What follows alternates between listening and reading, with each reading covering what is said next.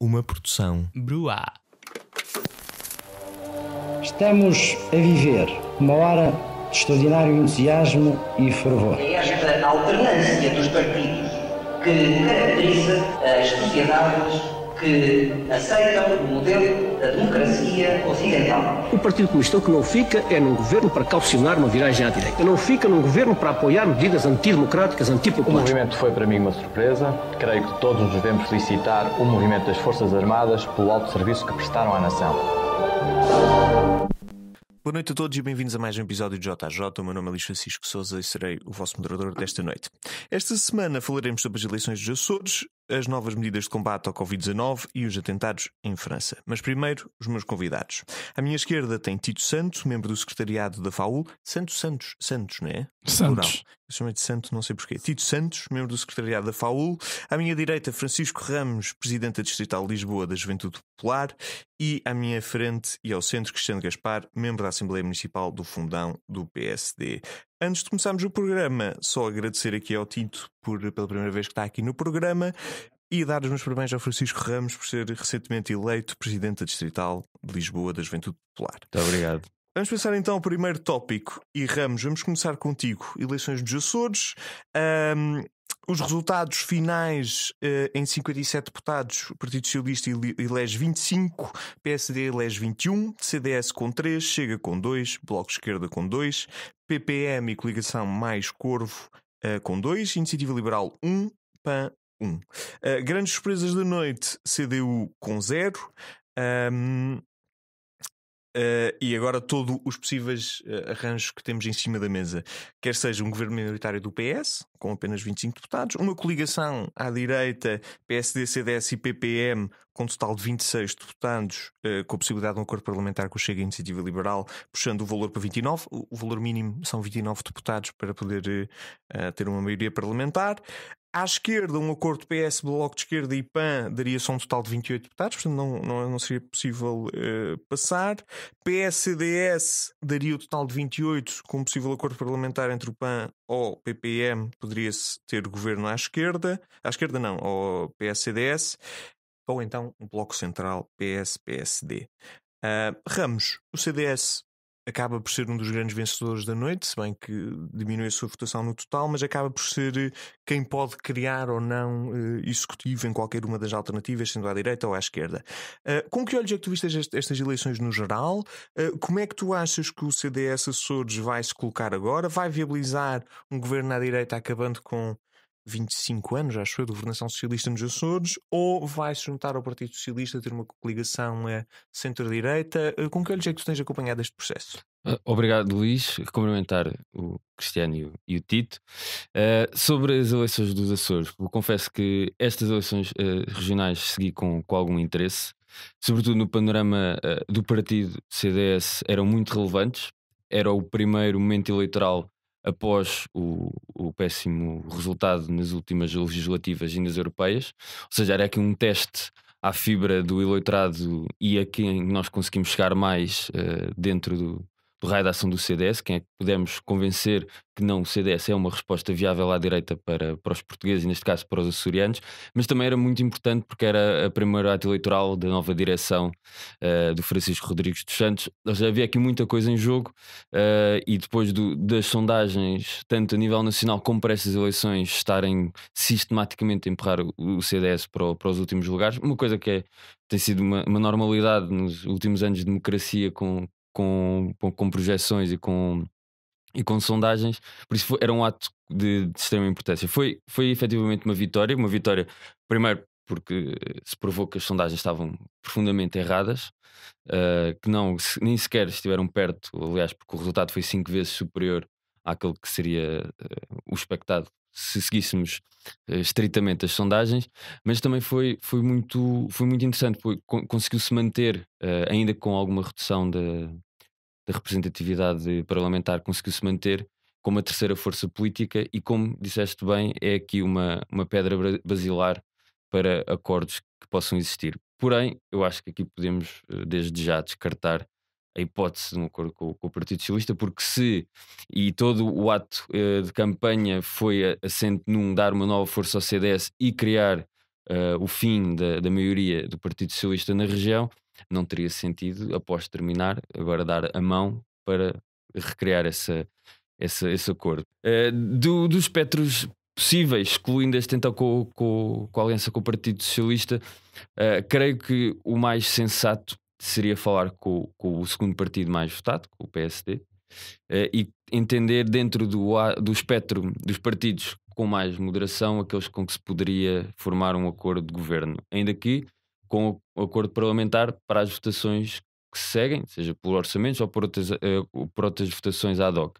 Até o próprio presidente Chega já se veio demarcar de um, de um governo com, com, com, com este próprio alinhamento à direita, por isso creio que as coisas estão, estão bem apontadas nesse sentido, até porque creio é um partido excessivamente verde eh, em termos de qualquer ato governativo e tendo uma agenda muito mais de, de ser o contra ou o suposto antissistema, não, não é uma direita que acrescenta, ao contrário do CDS. Uh, outro, outro dos pontos que podemos analisar é efetivamente este uh, o discurso que o Partido Socialista tomou no pós-ato eleitoral, que deu-me assim algumas uh, nostalgias de o partido mais votado é quem governa, uh, se o partido que, que, teve mais votos é que tem que governar, então terá de ser sempre esse a governar. Trouxe aqui algumas uh, ao de cima o clássico do, do contrassenso que o António Costa nos tem habituado, não só na governação, né, durante todo o seu ato governativo, como também agora especificamente para este ato eleitoral dos Açores, que, que mostra que não há qualquer eh, vontade de respeitar o povo, o único objetivo é manter o PS no poder, acima de tudo, e nada mais. O que me choca sempre, porque a política só serve para a população, só serve para as pessoas, mais que isso, já estamos a extravasar o seu significado. Por isso, de, de, dos Açores, esta seria a minha análise. Foi, foi com, um bom, com bons olhos que se recebeu a notícia. Pode ser uma viragem para, para a direita governar e ter aqui a hipótese de devolver aos Açores algum crescimento que os últimos indicadores uh, que se têm uh, vislumbrado não, não apontam para um crescimento forte não há nada de. diz-me, diz-me. Eu vou-te só aproveitar só para pedir aqui uma opinião em 30 segundos sobre Sim. o tema de se achas que o Francisco Rodrigues dos Santos então sai reforçado destas eleições. Muitos uh, afirmavam que isto seria a primeira prova de fogo que ele teria, sendo que as autárquicas serão a, a uhum. principal prova de fogo. Claro. E se achas que isto é uma previsão para alguma viragem à direita uh, em Portugal continental? 30 segundos mesmo. Eu, dos dois espero que sim. De primeira, uh, creio que foi. Não, é, não é um reforço no sentido em que ele não precisava de de, de, ser mais reforçado. Ou seja, a candidatura dele venceu, foi expressiva e apontou o CDS para um caminho com um líder que, que, escolheu em Congresso. Aquilo que sai reforçado é a sua capacidade de, em atos eleitorais, eh, transpor o, a vontade e as propostas do CDS para a população e que a população se, que se reveja. Claro que existem pontos onde podemos melhorar nos Açores e São Miguel é sem dúvida um grande foco que teremos no futuro uh, e creio que será um grande foco de crescimento do, do partido. Mas no, no, sentido de se os Açores poderão ser uh, o tubo de ensaio para o resto do país, eu espero que sim. Eu, eu espero que possa ser, possa haver aqui este crescimento de, e o reforço uh, de uma direita credível, que acrescente e que seja Uh, mais apoiante de, de, iniciativas que a população precisa e que carece neste momento. Obrigado, Ramos. Uh, Tito, vamos passar então para ti. Um, aqui temos, uh, de uma perspectiva do, do, Partido Socialista, aqui uma, uma visão bastante diferente. Acaba, fecha possivelmente um ciclo de 25 anos de governação do PS nos Açores. Um, tivemos o, o, o Primeiro-Ministro uh, a, a, a, citar uma citação que tem sido que é do, do Rui Rio, até primeiramente, que é matematicamente o Partido Socialista ganha as eleições. Portanto, o PS agora está aqui numa situação um bocadinho periclitante, porque uh, ou admite que, que é o fim de um determinado ciclo, ou vai tentar encontrar aqui parceiros com quem coligar e tentar uh, uh, formar executivo.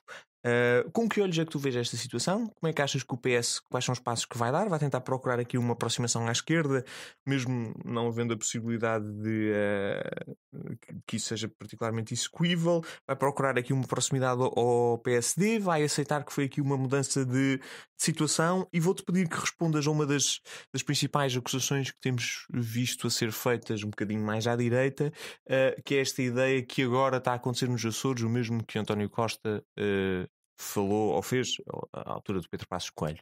Um, queria que te pronunciasses um bocadinho sobre esta situação no geral. É, antes de mais agradecer o convite, uh, um prazer estar aqui. Olha, deixa-me dizer uma coisa: acho que comparações uh, são sempre parcas e insuficientes entre aquilo que são realidades uh, regionais, autárquicas e depois nacionais. E os Açores é uma realidade nicho.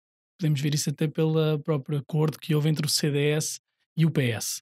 O CDS, como já aqui foi dito, está nessa posição privilegiada, tem um político, um dinossauro, enfim, político muito experiente, está cá há muitos anos, uh, e, e, e, portanto não está amarrado a nenhum compromisso à esquerda, uh, e portanto só ele saberá qual é que, qual é, que é uh, o melhor, qual, qual é que será o melhor caminho para o partido. Um, agora, este, vamos lá ver, este, este sorriso sardónico, não é? De, uh, do CDS poderá ser fugaz naquilo que é um, um, uma perspectiva para as autárquicas.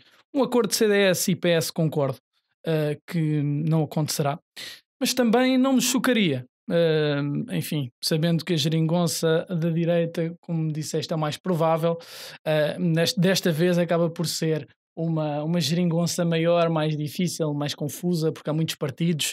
Uh, mas pronto, a direita neste momento está a sorrir. A esquerda não tira a toalha ao chão, obviamente temos essa ambição de, de poder, uh, de poder ter um papel ativo nos Açores, mas também quer dizer que vai respeitar a vontade popular. E um bloco central, também foi aqui falar dessa hipótese, acho que está, uh, está fora daquilo que é uma solução. E deixa-me também dizer-te que eu sou da opinião que as maiorias absolutas estão em vias de extinção. Acho que isso ano passado ficou mais ou menos claro. Acho que vão acabar. O nosso, o nosso sistema partidário está cada vez mais estilhaçado. E, e tu tens. Uh, e tu tens essa, eh, essa realidade a acontecer, não só em Portugal, mas, mas em toda a Europa podemos falar nos Estados Unidos, mas os Estados Unidos é uma, é uma, enfim, é uma realidade que não tem nada a ver com esta, porque só há dois partidos. Um, agora, claro, como eu referi no início, tem, é, é, os Açores têm, vamos lá ver, os Açores não é um tubo de ensaio, nós temos presença de monárquicos no, no, não é? naquilo que é o espectro político. Uh, eu não, não conheço, enfim, o um background aristocrático desta região, um, mas, mas sei que é, que é uma realidade uh, ímpar. E, portanto, preocupado sim estou posso dizer que estou preocupado, mas não sobrevalorizo esta votação, porque apesar de reconhecer aquilo que é um papel estratégico dos Açores nas relações externas, na diplomacia marítima, na importância que tem para Portugal, hum, não lhe concedo uma atenção desproporcional, uma atenção que nunca teve antes e que está a ter agora, e que só serve às narrativas da direita, do CDS, do, do Chega, da IEL e Uh, Tito, aproveitar que ainda tens aqui um bocadinho de tempo na tua intervenção, gostava que falasses um bocadinho sobre a saída da CDU, se possível, porque é um, acho uma coisa inédita à esquerda, e gostava também de perceber aqui um bocadinho a relação entre o PS Nacional e o PS Açores. Por exemplo, sabemos que o Carlos César foi uma figura muito influente no, no, no primeiro mandato do António Costa, só que agora Costa veio dizer que o PS Açores tem autonomia para gerir o seu próprio funcionamento. Um, é um bastião tradicionalmente do Partido Socialista que vai cair. O, Partido Socialista devia estar mais preocupado com isto, eh, não está, eh, está preocupado o suficiente. Com que olhos é que tu vês esse, essa ligação entre PS nacional e regional? Sim, vamos lá ver. Quem, uh, quem votam são, enfim, são uns cidadãos dos Açores, portanto, um, o Partido Comunista é um partido uh, que está por trás, enfim, da, da Revolução de Abril, de, dos valores democráticos, da liberdade, mas, um, mas também temos de ver que, que, que, a CDU está a perder força. Isso é uma realidade. Acho que o Partido Socialista tem, neste, nos últimos anos para cá, mantido uma relação diplomática e de grande proximidade com, com, com o PCP, apesar das diferenças que nos separam. Um, e essa é a minha preocupação. Eu disse que olhava com preocupação. Acho que essa é a minha grande preocupação, é olhar para a esquerda e só ver dois partidos nos Açores. Tu tens no, no Parlamento, a nível nacional, vários uh, partidos à direita que têm voz. Podem ser dois minutos, mas têm voz. E à esquerda não tens isso. Isso é uma preocupação. Acho que uh, Bloco de Esquerda e Partido Comunista são essenciais à República Portuguesa. Obrigado, Tito. Cristiano, vamos passar para ti. Então, estou muito curioso para saber: o PSD acaba por voltar, passado 25 anos, ao, ao poder, possivelmente, nos Açores. Um, falamos aqui do CDS como quem acaba por poder fundar o Executivo ou não, mas o Partido Social Democrata sai aqui altamente reforçado e muito próximo do Partido Socialista. Um, estou muito curioso para saber com que olhos é que tu veja esta possível funcionamento desta coligação à direita. Uh, em princípio, quem teria mesmo assento uh, regional, seria, uh, assento no, no Executivo, PSD, CDS e PPM, mas isto vai criar aqui, se calhar, uma relação um bocadinho dúbia porque é necessário um acordo parlamentar com o Chega e com a Iniciativa Liberal. Portanto, para este executivo funcionar é preciso que estes dois players, nomeadamente o Chega, que é o mais uh, questionável aqui nesta situação, questionável, imprevisível, não é? Um, colaborem neste sentido. Portanto, quero saber qual, qual, é, que é a tua análise sobre as eleições uh, regionais um, e sobre qual é que é o papel que o PSD e qual é que é o, o outcome que tu achas que é mais provável sair desta situação toda. Luís, convido aos colegas do painel. Rio já agora, estou muito curioso. A, a, frase do Rui Rio da matemática. Não, assim, o papel do PSD nessas eleições é salvar os Açores. Na verdade, seja dita. E, foi também esse o, o, voto de confiança que recebeu dos, dos cidadãos açorianos. Um, primeiro, quanto à, à, à, à geringonça à direita, eu continuo a manter, e, e acho que, para sermos coerentes tem, temos, eh, temos de olhar para esta geringonça à direita como olhámos há uns anos atrás, como eu pelo menos olhei há uns anos atrás para a geringonça à esquerda, e já nos saudosos tempos de início do JJ, acho que apanhámos mesmo esse início de, de, de, de, arranjo parlamentar na altura das legislativas. E, e o que continuamos aqui a, a, querer valorizar aquilo que é a democracia formal, aquilo que é permitido eh, pela nossa Constituição e pelas nossas leis, comparativamente àquilo que podemos chamar, ou que eu chamo de democracia material. Eu não sou nenhum jurisconsulto em direito constitucional, mas em termos daquilo que é a ideia das pessoas quando vão depositar o seu voto à urna. E a verdade é que as pessoas não votam a pensar naquilo que será a composição parlamentar e o arranjo parlamentar que dará suporte a um eventual governo. Votam no líder que querem ver à frente. E nesse sentido eu concordo com a afirmação de Rui Rio. Matematicamente, o, o PS ganham as eleições. Agora, a verdade seja dita, que apesar de eu não ser totalmente favorável uh, estes arranjos parlamentares, também é verdade, como dizia o Titi bem, que o tempo das maiorias absolutas terminou e temos de alguma forma de nos adaptar, sob pena uh, de ficarmos aqui paralisados e parados no tempo. Eu acho que os Açores precisavam de uma mudança forte e, apesar de podermos dizer que o PS matematicamente ficou à frente, também é verdade que sofreu uma grande derrota, tendo em conta aquilo que têm sido as décadas de domínio uh, sob a alçada do, do, do grande líder Carlos César e dos seus descendentes, pois é verdade, tanto lá como cá. Um, eh, mas a verdade é que temos o, o, os Açores com. Enfim, estive a olhar umas estatísticas antes de vir aqui ao programa e, e repare, estamos a falar de, de, de, uma região que tem uma escolaridade média mais baixa, é, é, a região mais baixa de Portugal e Espanha. Em Portugal e Espanha não há mais nenhuma região com uma taxa de, de literacia tão baixa. Uh, também é das regiões mais baixas com o número de médicos por cada mil habitantes. Uh, falamos dos Açores que há sete anos que têm uma taxa de desemprego acima da média nacional. E, nomeadamente, no tocante a isto último, se formos usar, uh, e para não levarmos com o argumento, ah, sim, mas é uma região insular, se olharmos comparativamente à Madeira, vemos que o cenário é completamente diferente, em que em 2020 a Madeira, por exemplo, teve a taxa de desemprego mais baixa do país. E nós temos aqui, acho que uma diferença clara, e não podemos, claro, extrapolar e dizer eh, apenas que é porque é o PSD que está à frente do governo, mas creio que é um sinal importante, que é a diferença de desenvolvimento de uma região para a outra e o quão atrasados estão os Açores, uh, muito por culpa, enfim, do Partido Socialista e da governação do Partido Socialista. Um, queria também, pegando um bocadinho na tua ideia relativamente ao Chega, eu não alinho nesta, nesta tentativa de chantagem ou de pressão uh, relativamente ao PSD quanto ao facto de estar a querer ou a sondar ou a ponderar fazer coligações com um partido de extrema-direita ou como é o Chega, não. Eu, a mim choca-me tanto o PSD uh, estar a fazer coligações com o Chega, como chocava na altura o Partido Socialista estar a fazer coligações com o Bloco de Esquerda ou com o Partido Comunista Português. E, e, como o Tito dizia bem, há muita diferença a separar o Partido Socialista e o Partido Comunista, e não é por isso que deixou de haver esta, esta solução parlamentar em nome enfim, do, eles chamam de estabilidade política. E já agora, permite-me só tirar mais uma coisa para cima do teu prato, que é esta possível uh, discussão que, que, que, o Chega a validar um governo PSD nos Açores vem em contrapartida com a possível revisão constitucional, com o apoio do, do, do PSD à revisão constitucional do André Ventura. Sim, e eu nisso acho que tenho de dar os parabéns ao Chega, porque deve ser dos poucos partidos que vêm para as negociações às claras e, e não está fechado num gabinete como estiveram PS, Bloco de Esquerda e PCP, sabe-se lá arranjar o quê, porque só vimos uma fotografia um papel a ser assinado não sabe o que se falou dentro de portas e o Chega, ao menos, trouxe para a opinião pública aquilo que propõe. Aquilo que propõe não é muito chocante, porque não vem dizer que obriga o PSD a concordar com o Chega naquilo que vão ser as suas propostas de revisão constitucional. Não.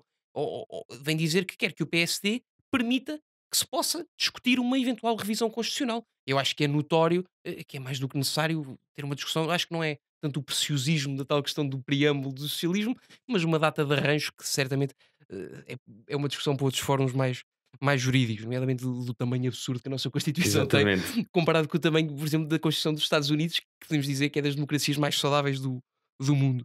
Um, deixar aqui também um, apenas um apontamento, um bocadinho já, já em jeito de finalização, que é, uh, enquanto que o PSD e o Rio Rio sempre disseram que não haveria qualquer problema em negociar com o Chega, desde que o Chega se moderasse, e, e não fecharam a porta, eu surpreendo-me um pouco como é que de repente o CDS já está ok. E recebemos há pouco a notícia de que o PSD, o CDS e o PPM já fecharam um acordo de governo. E agora já temos o CDS que está ok em arranjar aqui um acordo parlamentar, mesmo que seja parlamentar com o Chega, e não há problema em ter suporte do Chega quando tivemos o Francisco Rodrigues dos Santos numa entrevista à Visão há uns meses atrás a dizer que estava completamente de fora e completamente... A frase foi uma a probabilidade de entendimentos com o Chega é nula, dizia-nos o Francisco Rodrigues Santos em agosto de 2020. Mas pelos vistos só é nula dependendo da situação e dependendo do contexto. Eu acho que também não é. Estás muito... a tirar a frase do contexto. Não, não, não estou, não estou, não estou. Estou a dizer Isso que a probabilidade foi... de entendimento. Nós tivemos em abril Francisco Rodrigues Santos a dizer, um bocadinho na linha de Rui Rio, que poderiam ser possíveis entendimentos com o Chega se ele moderasse, se o partido e enfim, pessoalizando André Ventura, moderasse um pouco a sua postura e as suas atitudes, mas a verdade é que quatro meses depois vem dizer que a possibilidade de entendimento é nula. E acho que isto não há grande contexto por onde, por ah, onde ah, pegar. Havia. Por, por, onde, por, por onde pegar. Um, e, e parece-me também importante, isto era a ideia final que eu queria deixar, eu acho que temos de deixar de fora e de parte este estigma e, e este, este concurso de, aqui não posso dizer, entre, entre o CDS e o Chega, é, é, tentando ver qual é que é o partido da verdadeira direita em Portugal. E, e, acho que devemos é todos trabalhar em conjunto com o propósito comum que é fazer em Portugal ou tentar concretizar no continente, porque os Açores são Portugal, aquilo que se fez agora nos Açores e no Governo Regional dos Açores. Mas é muito isto, Luís. Tiveste mais alguma questão? Não, não. Obrigado, Cristiano. Olá, eu sou o Renato, argumentista, autor e jornalista independente e neste podcast vamos falar de teorias da conspiração.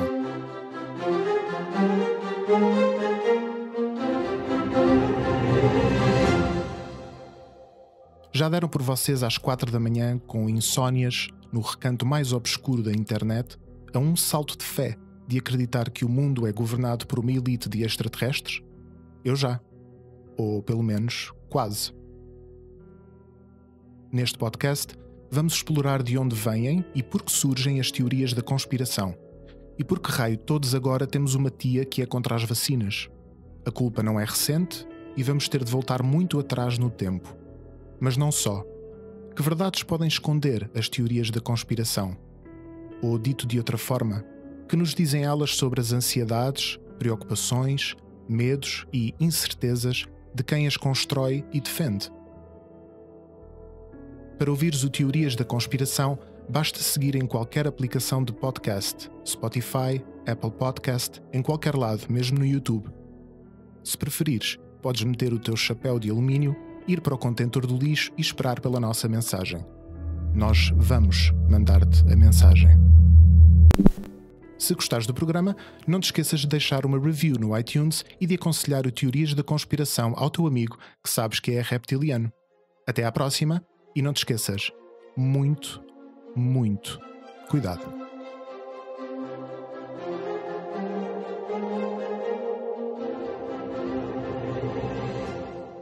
Vamos fechar então este tópico e passar aqui à próxima questão, que são as novas medidas anunciadas uh, de combate ao Covid-19, uh, entre as quais temos, nomeadamente, o dever cívico de permanência de domicílio, estabelecimentos a fecharem às 22 horas, a proibição de celebração de celebrações com mais de 5 pessoas, salvo pertencer ao mesmo agregado familiar, obrigatoriedade do regime de teletrabalho, caso as suas funções o permitam, os limites de 6 pessoas em eh, cada grupo por restaurante e, por fim, o alargamento de 100, uh, 121 conselhos das medidas especiais que tinham sido aplicadas antes em Felgueiras, Lousadas e Passos de Ferreira. Tito, vamos começar contigo este tópico. Uh, uh, sabemos o Covid é uma situação que, que, na presente conjuntura é inalterável e tem estado presente em quase todos os nossos programas. Eu bem que tento arranjar qualquer coisa diferente para que falar, mas é impossível não falar sobre o Covid-19.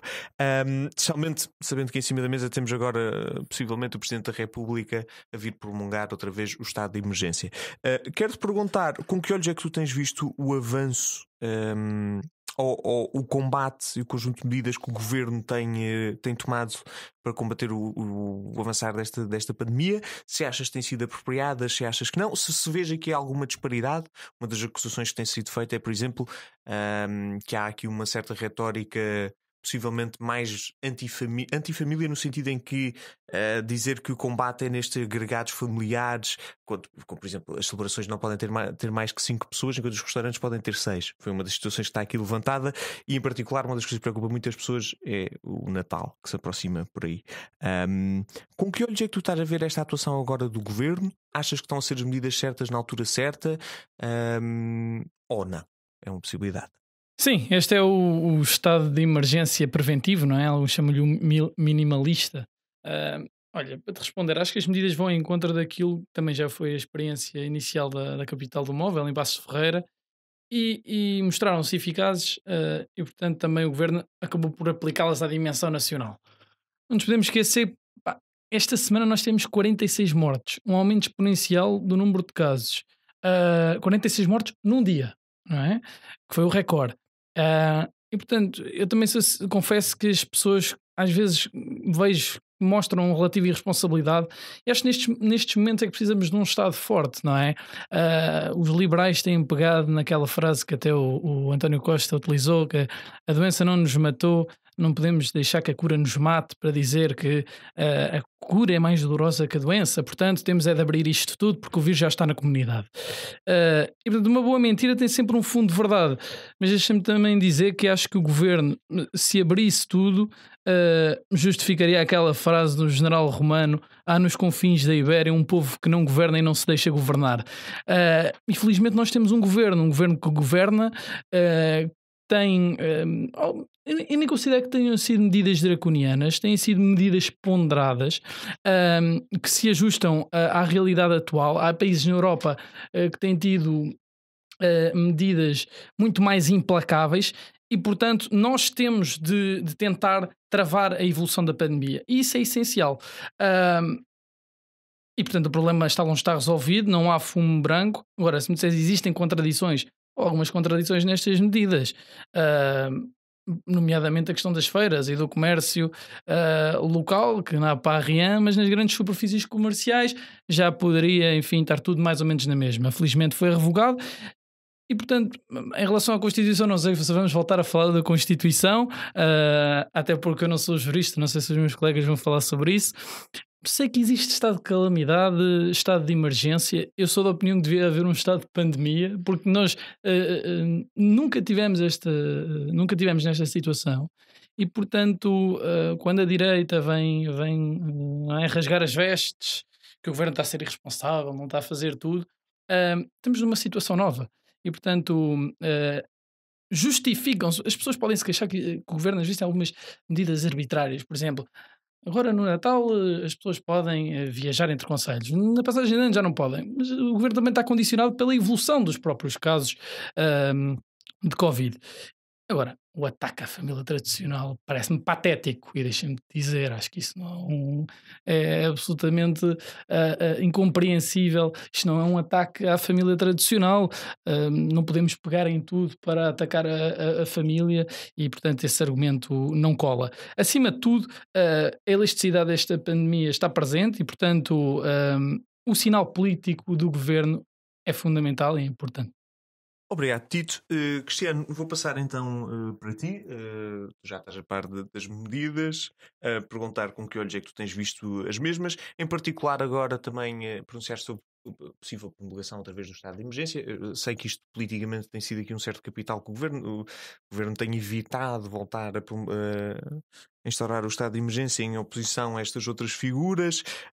Um, fica aqui esta sensação que, há, que, se faz aqui uma certa cedência política ou, ou não.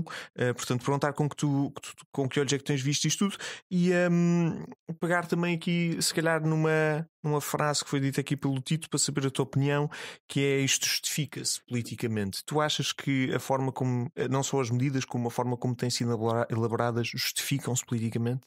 Não, oh, oh, Luís, estávamos com, com, com os olhos de, de alguma perplexidade porque hum, há, três. Para já, o, o, problema maior, mais do que o problema das soluções jurídicas que têm sido apresentadas e, e, as medidas políticas, eu acho que aqui é sobretudo o problema de comunicação. Este governo não sabe falar para as pessoas, este governo diz umas coisas hoje, diz outras coisas amanhã, e, e se for preciso, diz duas coisas diferentes no mesmo dia, por, por, por autoridades diferentes. É como a pandemia, não é?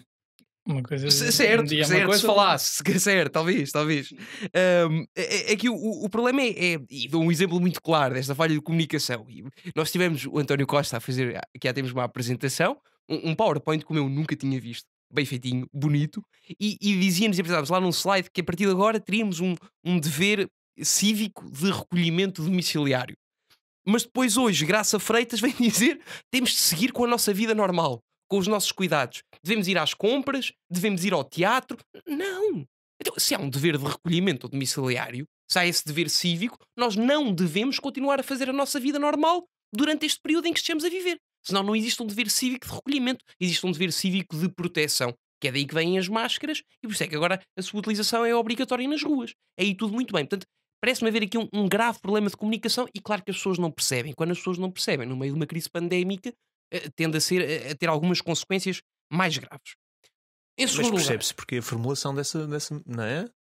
Em relação à, à, graça, à doutora Graça Freire. Não, ao, ao, dever cívico em oposição à, à imposição das pessoas fecharem-se em casa, não é? Tu... Não, eu não acho que deva haver uma imposição. O que eu acho é que este dever cívico de recolhimento militar não resolve nada. Nós devemos ter o único governo na Europa em que não é o governo que guia as pessoas, são as pessoas que guiam o governo, porque as pessoas já há muito perceberam que têm de se fechar em casa. Ou, a vizinha ou, também às vezes dá uns guias bons. que, têm, que, têm de se recolher em casa e que têm esse dever cívico. Portanto, o governo vir dizer isto não é novidade nenhuma. Mas percebo porquê. E aqui gostava de entrar na parte importante da minha. Não é que o resto não tenha sido importante, mas na parte mais importante da minha intervenção, que é a verdade é que, quando, e sem querer dar uma análise muito jurídica, mas com os nossos moldes constitucionais e esta questão do estado de emergência, a verdade é que para, para a maior parte das medidas que António Costa quer dar, está de mãos atadas, ou, ou que gostava de tomar está de mãos atadas. Portanto, enquanto não houver a declaração do estado de emergência, a verdade é que António Costa também não pode dizer muito mais do que isto. Não, tentem ficar em casa, tenham cuidado, usem máscara, embora tenha tentado, e foi o que se viu agora com a proibição de circulação entre conselhos, onde estranhamente vieram tentar defender que era constitucional. Ainda estou para saber como todos os, todos os grandes constitucionalistas portugueses vieram pronunciar-se contra. Parece que o Supremo é que deu razão ao governo, mas também não foi bem assim, porque só disse que o Chega não podia apresentar a, a providência cautelar. Um, mas é um ponto importante. Na minha opinião e na minha visão, nunca se devia ter deixado de ter declarado o estado de emergência. A partir do momento em que é declarado ou que tem de ser declarado obrigatoriamente de 15 em 15 dias e que tem de passar pelo crivo do nosso Presidente da República que assegura o regular funcionamento das instituições democráticas, que é como diz a Constituição, um, não, não há o grande perigo de, de, se extrapolar para uma usurpação de poderes democráticos da parte de António Costa. Iria sempre existir esse controle de 15 em 15 dias. E a verdade é que não é por estar em vigor o estado de emergência que o governo é automaticamente obrigado a tomar medidas que sejam constrangedoras das liberdades e dos direitos e garantias dos cidadãos. Apenas as tomaria quando fosse preciso com maior agilidade. Ou seja, se haveríamos de estar agora neste teatro destes 15 dias com medidas perfeitamente inócuas e, e, na minha opinião, sem as pessoas as perceberem muito bem, podia já ter-se passado a ação se o estado de emergência já tivesse sido declarado e, entretanto, se passasse para a Assembleia da República para aprovar. Necessariamente que sim, o processo é mais longo, é mais moroso e a pandemia não descansa.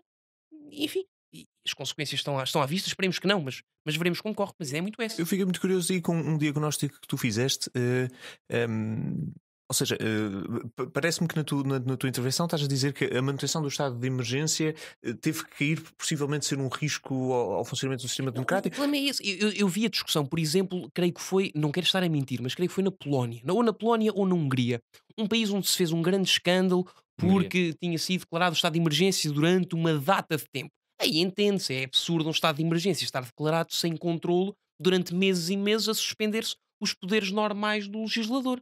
Agora, num, num país como, como, Portugal, em que a própria Constituição obriga a que a cada duas semanas e a cada 15 dias o estado de emergência tenha de ser renovado com o crivo do Presidente da República, não há perigo que exista um, um extrapolar da parte de António Costa. Devemos ser uma Hungria, não é?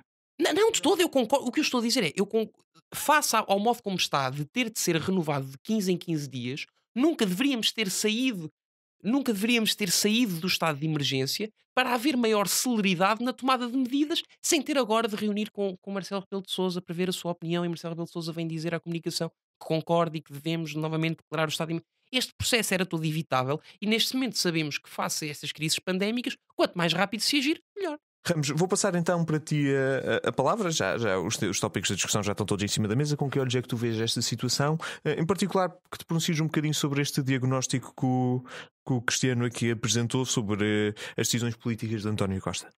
Claro, olha, eu, eu ontem assisti uh, com muita atenção à, à comunicação do, do Primeiro-Ministro e digo o grande, vitório, o grande vitorioso da noite foi, foi a apresentação PowerPoint, porque foi a única melhoria face a tudo o resto que foi apresentado. Foi um conjunto de medidas que eu creio que só o Ricardo Aruz Pereira conseguiu descrevê-las muito bem. Parecia só uma pessoa. Eh, as medidas vão impor que uma pessoa olhe para alguém que está a não cumprir aquilo que foi indicado e diga: Olha, pá, tem calma, não o faças, mas, mas pode fazê-lo. Ou seja, tem que ficar em casa, mas para ir ao teatro, ao restaurante, mas podem. Ou seja, isto não tem sentido absolutamente nenhum ou felizmente voltaram atrás com os mercados relevantes e com as feiras. Parece que o vírus é profundamente seletivo. Ou seja, vai às feiras, mas um centro comercial não toca. Uh, nos restaurantes, a partir do momento em que eh, são cinco ou seis, seis pessoas, seis pessoas num restaurante e cinco num evento, isto não há coerência. E as pessoas não precisam de ser profundamente intelectuais ou quererem saber disto a fundo para perceber que isto não tem sentido algum.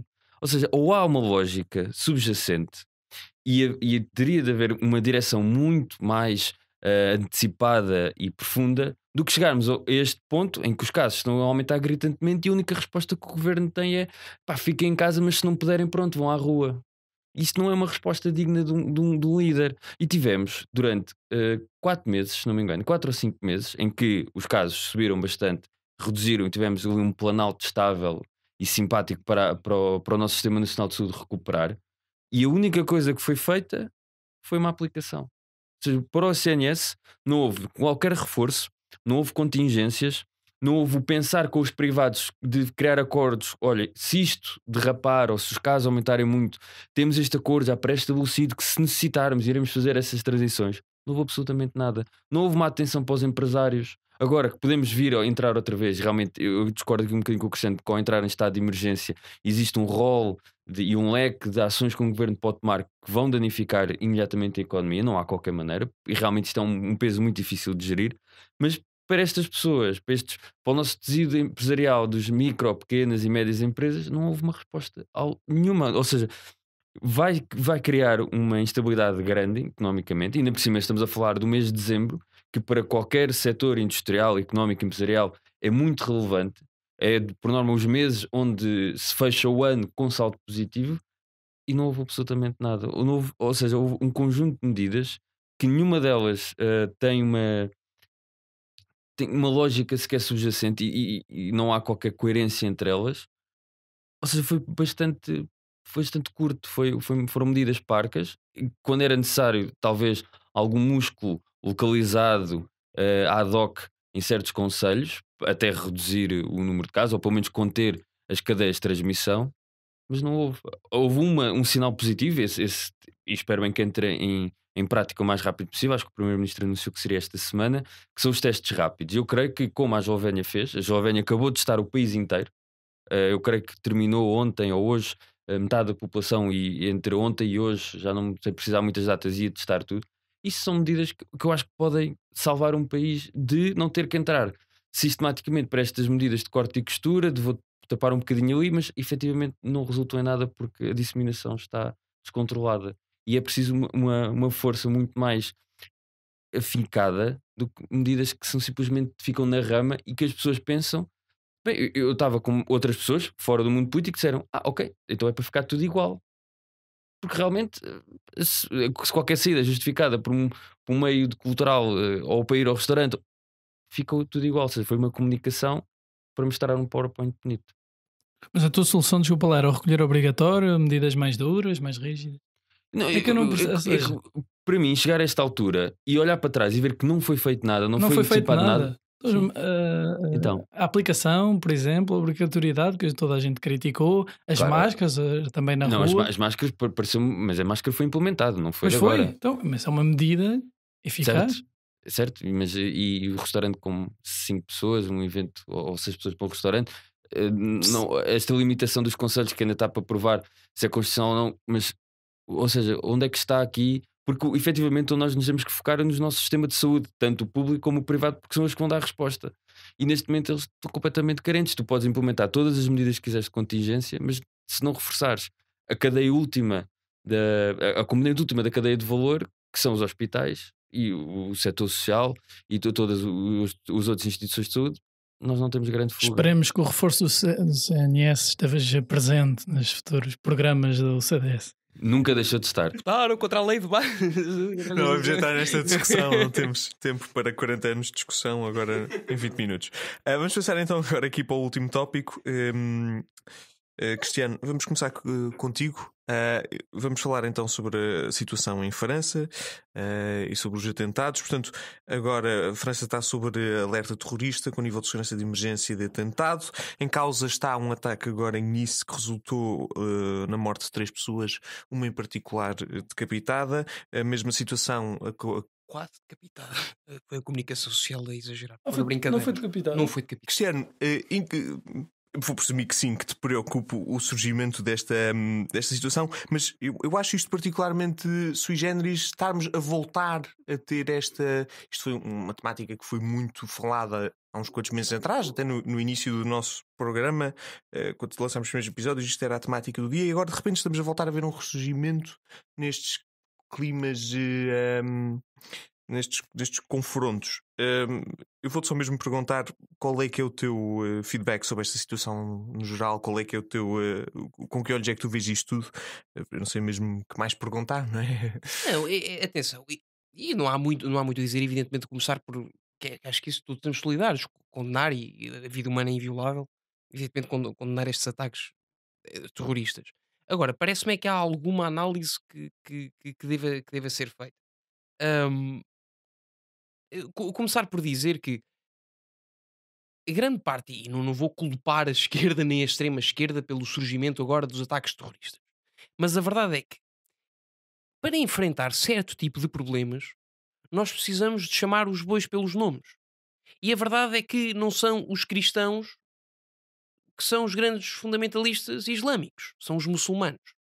E a- cada vez que alguém ou algum líder europeu ou mundial vem e aponta o dedo a uma certa parte da comunidade islâmica eh, pelo facto de serem extremados e de promoverem ataques terroristas, imediatamente se gera um, um coletivo social a apontar o dedo e, e a acusar essa determinada pessoa de ser xenófoba ou de ser racista.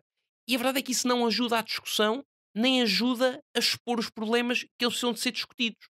Ahm, enquanto nós continuamos a ter, e não é só no caso da França, mas no caso de Donald Trump, toda a gente a cair em cima de Donald Trump quando há uns meses atrás, percebendo que poderia haver alguns problemas nas entradas de, de refugiados vindos de determinados países, em que ele nos vem dizer que é preciso termos um, um, um alerta superior, um maior cuidado em relação às pessoas que vêm destes países, toda a gente caiu em cima de Donald Trump a dizer que ele não podia ter este tipo de posturas e ter este tipo de atitudes. E a verdade é que, embora a maioria, eu desconfio que seja a maioria eh, das pessoas que entram dentro dos países, sobretudo muçulmanos, porque é o tema que estamos aqui a discutir, sejam pessoas verdadeiramente de bem, e, e- e vamos lá ver, a, a própria religião é é uma religião de bem, portanto não, não é por aí, o problema está no fundamentalismo.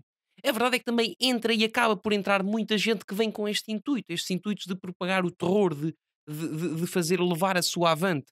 E o outro lado da moeda, podes-me dizer, Cristiano, seria se calhar evitável para o professor, ou, ou seria, seria as pessoas deviam abster-se de tentar ferir as suscetibilidades de certa parte de, da população, nomeadamente dos muçulmanos. Ou seja, seria ou teria sido dispensável que o professor tivesse apresentado caricaturas do Maomé, tendo em conta que haveria provavelmente alunos muçulmanos na turma? Eu creio que sim. Não é que estejam aqui a querer impor limites à liberdade de expressão. Acho que o problema não é esse. Mas a ideia que eu quero passar é que devemos evitar eh, acender o rastilho evidentemente que nada justifica este tipo de ações e, este tipo de atos terroristas.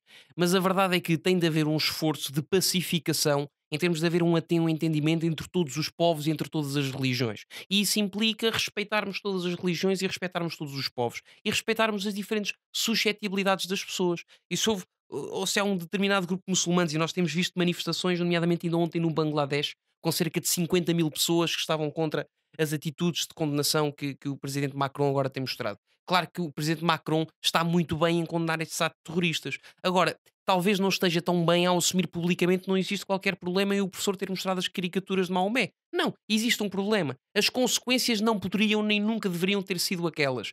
Mas existem limites que não podem ser ultrapassados e esses limites são o respeito pelo próximo e pelas ideias do próximo. E tal como a mim me chocaria ter um professor, como já tive no, no, no, ensino secundário a caricaturizar uh, Jesus Cristo ou caracterizar o, o, cristianismo, também me chocaria, evidentemente, se eu fosse muçulmano, ver uma caricaturização de um profeta que eu considero sagrado.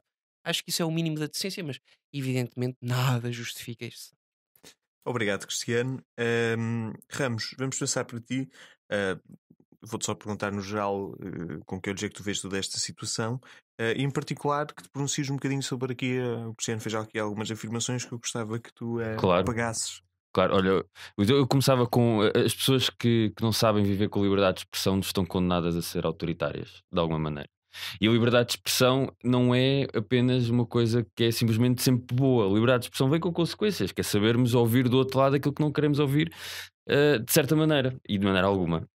Uh, e nesse sentido, uh, eu, eu, quero mesmo reforçar: eu, todas as ideias uh, têm, de ter, têm que ter liberdade para ser expostas, mesmo aquelas que vão contra aquilo que é mais sagrado, ou mais nuclear, ou mais valioso para nós. Mas uma caricatura não é uma ideia, Francisco. Mas uma caricatura é um, um, um dos, das vias da comédia em que pretende caricaturar, exatamente a expressão, um estereótipo ou fazer remarcar alguma coisa que é, pode ser de detalhe e ficar mais com maior, eh, com maior destaque.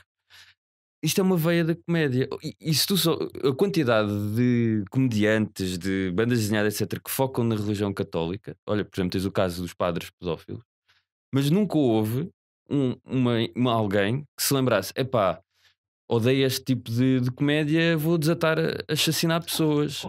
Pronto, é aqui que entra. Eu, eu creio que se estas pessoas não, não estão contentes e, e te, tomam estas atitudes perante uma caricatura que não é, não é nada mais que isso, elas próprias têm que rever o seu modo de vivendi e pensar o que é que é mais importante, se é a vida humana, se é um profeta. Que, atenção, eu respeito muito uh, uh, o Islão, eu respeito muito a religião muçulmana, tenho profunda consciência da sua importância, não só no mundo que temos hoje em dia, mas no passado também, que foram uma das civilizações que mais contribuiu para o desenvolvimento científico uh, e, e, também uh, teórico e literário. Mas temos que contemplar que neste momento uh, as pessoas, os fanáticos, e esse é o foco, e, e aí concordo contigo, isto não é uma questão transversal, é de nicho, ainda que existem muitos líderes religiosos que estão a querer dar, dar muito gás a este, estes ânimos, Uh, mas quando dizes que temos que ter cuidado, aí eu, discordo. Ou seja, a pessoa, quando lançou aquela caricatura, não pensou eu vou querer atacar os muçulmanos. Não era esse o objetivo. O objetivo dele era, como qualquer uh, agente de, da comédia, das artes, é fazer lançar a sua arte, ou seja, ter uma ter uma, uma questão, dar uma, uma tónica cómica à coisa. Ou seja, o objetivo dele não era ofender, mas sim fazer rir como existem, como existem todas as outras artes. Agora, estávamos completamente a entrar em águas muito, muito tenebrosas quando dizemos que temos que ter cuidado com a maneira como nos expressamos. Foi como o primeiro-ministro do Canadá disse agora em reação a estes acontecimentos, o Trudeau disse a liberdade de expressão tem que ter limites. E eu acho que este é o preâmbulo mais perigoso que possamos ter na democracia. Quando começamos a dizer que a liberdade de expressão tem que ter limites, quem é que vai definir esses limites? Onde é que colocamos esses limites? Quem é que vai fiscalizar essa ação? Estamos a entrar eh, naquilo que nós hoje em dia chamamos do politicamente correto, o ataque à, à liberdade de expressão este tipo de líderes, quando dão, isto preocupa-me muito, porque ter, ter eh, fundamentalistas, fanáticos, pessoas que não são de bem, que não querem o bem, existem em todas as religiões, todos os países, todas as comunidades. Isso é um facto.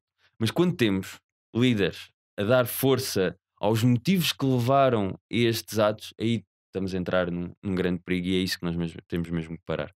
Tito, então para acabar aqui o nosso programa desta noite, um, faço a ti a mesma pergunta que fiz aos outros todos até agora, que é com que olhos é que tu vês toda esta terrível situação, e pedir que tu te pronuncies um bocadinho sobre o debate de fundo que acabamos por ter aqui, que é quais são os limites ou não da liberdade de expressão. Em primeiro lugar, uh, reiterar o que o Cristiano disse, que isto foi um ato ah, bárbaro, não é? Lamentável do ponto de vista humano, uh, e há que sublinhar isso. Acho que o problema, em primeiro lugar, agravou-se quando, quando se meteu a Turquia ao barulho. E aí é começou a ganhar eco. Uh, uma troca de picardias entre o Erdogan e o Macron. Uh, sabendo mais do que um assunto bilateral nestas coisas, uh, esta, intensa, esta tensão entre os dois países tem de ser interpretada à luz daquilo que é, um, enfim, um, um, entrave numa presumível entrada da Turquia na UE. E, e nós somos a favor de uma Europa laica, e portanto, esse é o primeiro ponto. Em segundo lugar, vamos lá ver, o Islão está num processo de laicização, um processo que o cristianismo demorou três séculos a passar. Tanto que o primeiro atentado uh, foi na Avenida Voltaire, avenida essa com o nome de um homem que também foi muito odiado por cristãos, porque uh, teve essa ideia da separação entre a Igreja e o Estado. E, portanto, o Islão é de facto muito politizado na sua história. Um, e também dizer que a França é particularmente distinta uh, de outros países, como por exemplo na realidade portuguesa, que até acho que somos uma referência a esse nível, estamos na linha da frente no contexto de integração destas comunidades, uh, considerando que a cultura francesa também é mais laicista do que a portuguesa. Uh, em terceiro lugar, eu acho que isto não é uma discussão de direita e de esquerda, até que tivemos o Cristiano e o Francisco, direita, que discordaram neste ponto. há um grande debate que temos sobre a sociedade que queremos, uh, primeiro temos essa hipótese da, da, limitação da liberdade de expressão, uh, e aí temos também de nos questionar o que é que significa discurso de ódio, o que é que é infâmia, uh, o que é que é difamação, o que é que é até o próprio assédio, a uma sociedade que define, no fundo, alguns temas que são sagrados, orientação sexual, a raça, a religião, e acho que aqui é, é que se encontram a ambiguidade na sociedade. Eu acho que tu podes uh, tanto seguir um como o outro caminho filosófico, mas tens de ser coerente. Não pode ser para aquilo que tu concordas és tolerante, mas para o que discordas já não és. Portanto, uh, porque há várias áreas, não é? Estamos a falar de religião, de orientação sexual, todas estas áreas, há várias correntes. E, portanto, eu pessoalmente sou a favor da liberdade de expressão, uh, tenho as minhas ideias, tenho as minhas idiosincrasias, não tenho problemas em que alguém discorde de mim. Um, e sou a favor desse tipo de sociedade. Muito obrigado, Tito. Uh, foi, foi, foi uma, uma, muito, boa, muito boa intervenção. Uh, eu raramente pronuncio-me sobre compostos de intervenções, não, até não, não, é o meu, não é o meu papel estar aqui a fazer este julgamento. Uh, mas quero-te agradecer então por este, por este fecho de programa e da minha parte resta-me apenas desejar a todos uma boa noite e vemos para a semana.